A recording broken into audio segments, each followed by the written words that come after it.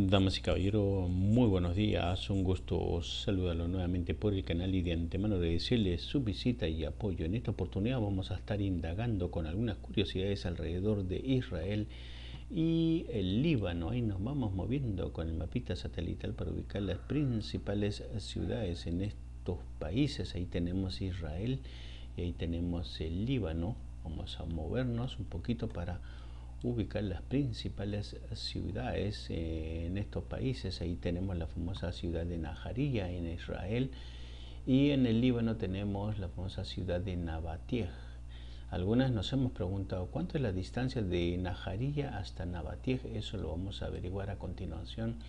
Vamos a tomar este punto de referencia, Najarilla en Israel, ese punto de referencia y proyectar sobre Nabatieh en el Líbano. A ver cuánto nos da esa distancia de separación.